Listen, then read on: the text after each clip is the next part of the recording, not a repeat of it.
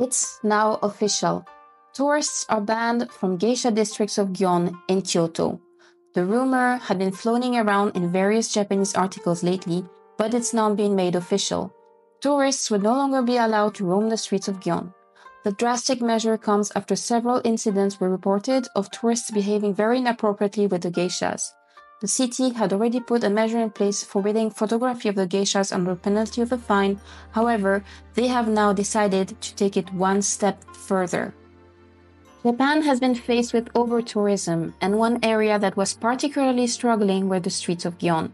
Gion is a place of work for geishas, but also a place of residence for many locals.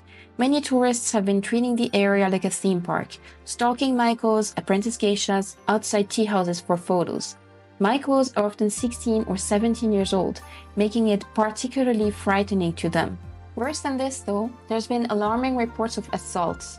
Some tourists have been throwing cigarette butts into geishas' necks. One geisha had her kimono torn off by a tourist. A tourist even threw $10,000 at a geisha with his hotel room key. Geishas were reporting feeling unsafe, which has now prompted the Japanese government to take action.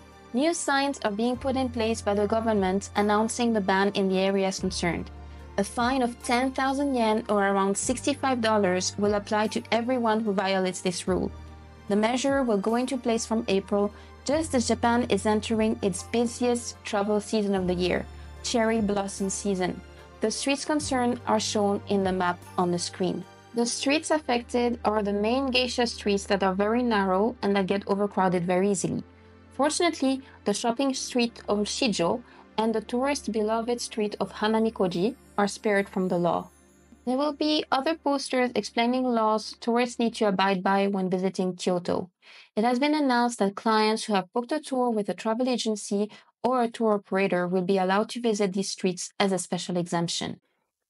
As a travel agent and a content creator, I feel like this is something very important for me to talk about. If you travel to Japan, you have to understand how to behave properly to respect local customs. I watched Sydney Watson's video recently about influencers bothering people for clicks, and I feel like in Japan, influencers are harassing geishas to gain notoriety online. It's very sad that as a consequence, all tourists will now be banned from the geisha historic district of Gion, which is hundreds of years old. More than that, though, I feel like there's a big misunderstanding in the West about what a geisha actually is. In this video, I want to go over the history of geisha and how they became such iconic symbols of Japanese culture. If you find this video insightful, please don't forget to subscribe. We're nearing 300 subscribers right now. My goal is to get to 500 so I can keep making videos for you guys and make even more amazing videos for you.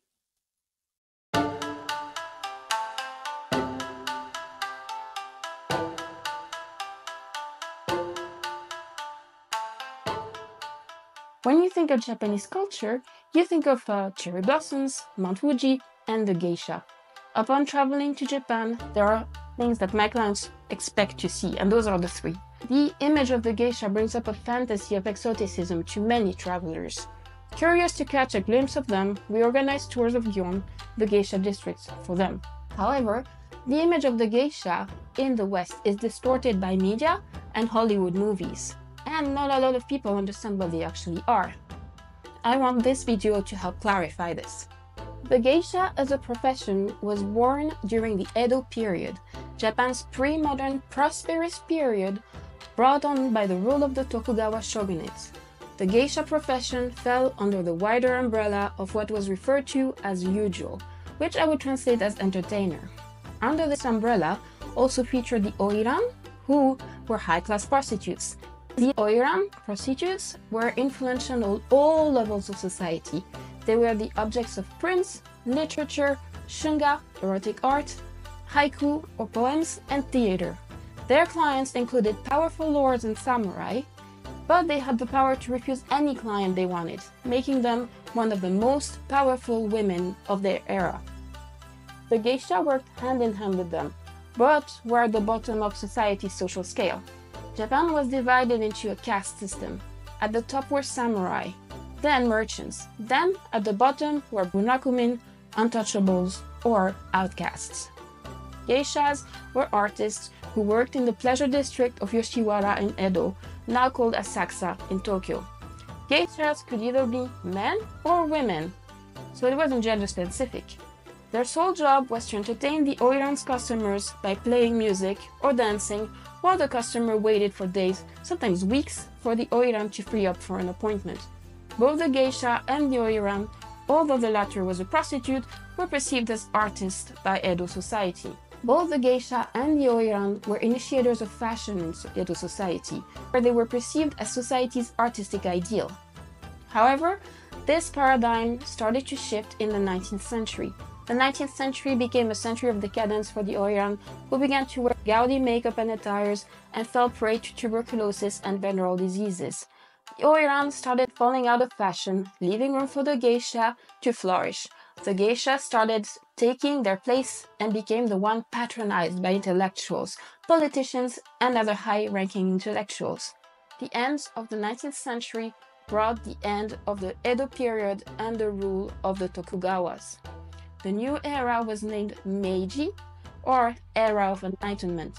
When Japan reopened to the world after two centuries of feudalism, it was faced with the task of imposing itself as a modern nation state the fear of being colonized by big Western powers who had already colonized most of Asia was very real. As a symbol of its power as a nation, Japan needed to promote a sense of unified cultural identity to the rest of the world. Japan, having been divided into caste systems for 200 years with very little interaction between each caste, was tasked with unifying the people under one identity. For a viable nation state requires national subjects in possession of a sense of nation, a collective knowledge that everyone can identify and relate to. The Japanese authorities of the new era decided to go back in time to retrieve elements that they thought the world required to construct a sense of Japanese cultural identity. The pleasure districts have been a precursor of popular culture for the past 200 years, became a major source of art form to promote Japanese cultural identity since it was a disgrace to frequent the pleasure quarter for a man of the samurai class during the Edo period, they would come dressed as commoners of men of lower class to visit those oirans. So if you think about it, the pleasure districts of Yoshiwara were the only place in feudal Japan where all citizens appeared equal. This reached the point where oiran, geishas, clients and patrons had developed their own customs, traditions, and language. The leaders of the new Meiji era came to realize that they could take the art forms that had emerged from these quarters to construct a unified Japanese identity. Yet, the Japanese government knew that the Christian West would struggle to accept the taint of licensed prostitution on these art forms. The popularity of the oiran and the geisha stemmed from an erotic ideal, after all. The West also accused Japan of licensing slavery in the pleasure quarters. The Meiji government, conscious of Western opinion, decided to enact laws to modify these art forms in order to be taken seriously by Western powers. The survival of Japan as a nation state depended on it. If Japan was to become civilized, in Victorian terms of course, the licensed prostitutes or Oiran's influence on society could no longer be allowed to flourish. Japan held the first Kyoto exhibition in 1872 which attracted a large number of foreign visitors, which until then had not been allowed to enter Kyoto. To showcase Japanese national identity, geishas were put on the forefront. They offered a much safer option than the oiran because they had never officially been licensed as prostitutes. As I explained earlier, the sole purpose was to entertain the oiran's customer with dance and music. The first ever performance of Miyako Odori was organized at the Kyoto exhibition having received very positive comments from the foreign visitors of the time, who particularly enjoyed the exotic dances, the Miyako Odori became the dance shown to foreign tourists ever since. Today, the Miyako Odori show is performed every year in April to tourists in the Geisha district of Kyoto, the district that the Japanese authorities are planning to ban tourists from. So, of course, this is very sad. After the Kyoto exhibition, the geisha became internationally renowned entertainers and stars with their kimonos, costumes, white makeups, solitary dances, and exotic instruments and dances, they represented an art form completely different from Western aesthetics. to foreign eyes, they became national Japanese icons and the ideal of Japanese femininity. Consequently, in 1872, the Japanese government announced a proclamation for the emancipation of geishas and prostitutes. To operate as a geisha or a prostitute, you needed a license for either profession or both. Some geishas were only geishas, while others possessed a license for both being a geisha and a prostitute. To be modern at the time meant to be Western, and to be Western was trendy. So, consequently, geishas started to adopt Western customs, Western clothes, and fashion. They became so popular that many government officials in Japan at the time took them as wives. As time passed and nationalism grew in the years leading to the Second World War, in the Showa era, things changed. When geishas started cutting their hair and perming them, they weren't quite Japanese anymore to the people of the time. Similarly, the more modern Japan became and the less Japanese it was. People started yearning for the pre modern period, the last true period of Japanese spirit. Geishas became the image of an idealized past, of the real Japan, that the country needed to recover. After the war, under immense pressure from the occupying American forces, the Yoshiwara pleasure district closed down. Despite protests from local officials, a law was passed in 1956 declaring all forms of prostitution illegal, ending for good 300 years of Oiran tradition, but also sealing the geisha's fate as an entertainer and not a prostitute. Most recently, as Japan is at the forefront of modernity, geishas have become a curator of tradition. As the profession is no longer appealing to younger generations who prefer prestigious degrees and professions, geishas are slowly disappearing. Prior to World War II, there were an estimated 80,000 geishas in Kyoto. Today, there are less than 300. In 2007, Japanese government began actively promoting the profession through tourism. Geisha dances are no longer performed solely for their elite clients, but are now widely available to tourists.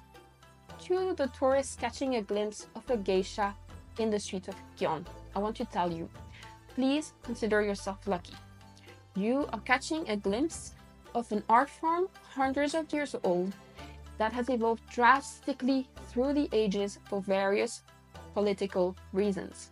Geishas are women who make conscious choice of not pursuing a modern career to maintain the spirit of Japanese identity and history and culture alive. So when you see them in the streets of Kyoto, please be respectful and don't throw things at them pull their skirts or force them to take photos with you. I hope this video was helpful and that it gave you some insights into the world of the geishas. Please don't forget to like, comment and share this video. This tells the YouTube algorithm to suggest my video to more people so I can reach more people like you. Please don't forget to ring that notification bell to be notified whenever I drop a video.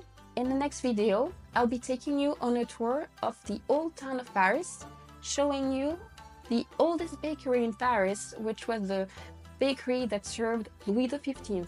So, yes, it's that old. So, this is something for you to look forward to. Thank you so much for watching, and I will see you in the next video. On a side note, look at this, this really cool mug that I found recently.